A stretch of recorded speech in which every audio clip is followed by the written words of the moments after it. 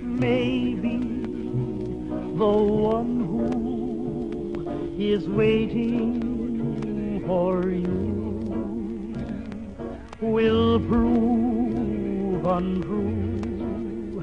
Then what will